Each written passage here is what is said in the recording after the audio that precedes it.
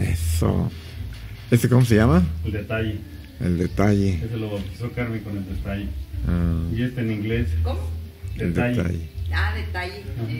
Muy bien. ¿Y en inglés cómo? Ese lo tienes